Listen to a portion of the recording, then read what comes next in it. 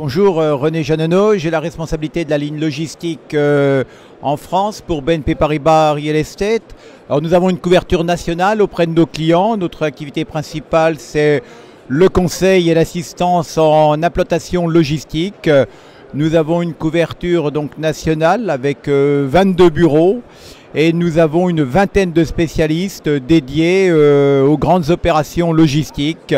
Nous avons beaucoup de clients qui sont de toute taille. Hein. Nos business commencent à partir de 3 4 000 m2 pour les implantations logistiques, avec des implantations logistiques beaucoup plus emblématiques, comme la dernière en date que nous venons de réaliser avec un client japonais qui s'appelle Irisoyama.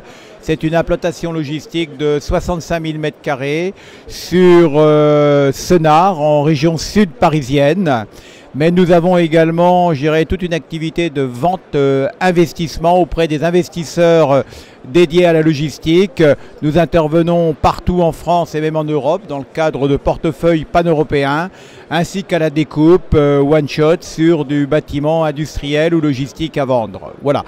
Nous anticipons encore après une année record 2017 hein, qui avait vu 4 millions de mètres carrés développés sur l'ensemble de la France.